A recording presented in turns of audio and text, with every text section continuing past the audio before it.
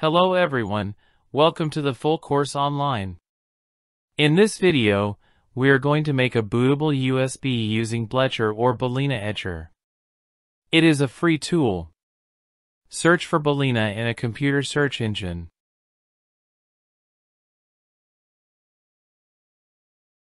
The official website is etcher.balena.io. The download process is quite straightforward. Balena Etcher is displayed on the first screen. Click on Download. Select the version that you want to download. It is available for Windows, Mac OS 64-bit, and Linux. I'm going to select the first option. Click on Download.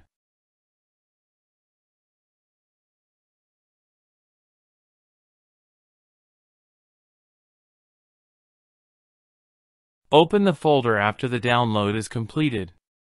And you can see there is an exe file. Double click and this will open a small window. Insert the USB into your computer and wait for its detection. You can create flash from file or from a specific URL where the files are located.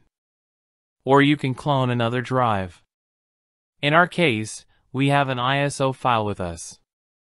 I'm clicking on the first option. Locate the ISO file. For this video, I'm selecting Zorin OS, which is a Linux operating system. I have already downloaded the ISO. Select it. And click on Open.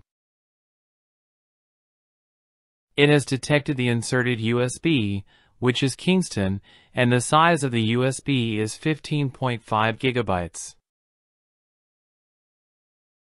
Click on Flash, and the process starts.